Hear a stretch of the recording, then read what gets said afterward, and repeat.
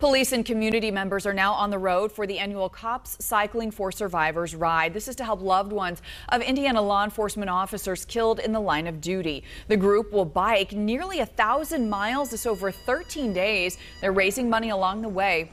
During the ride, the group will honor more than 400 officers by reading a memorial for each one killed. We hope that when they see us pedaling, that they can associate us with the truck and the names and the photos on the side of the truck.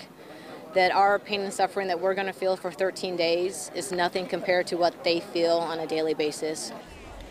And participants say they appreciate the support shown along the ride, the waves, the honking from the cars. They do ask the drivers slow down when passing by for their safety.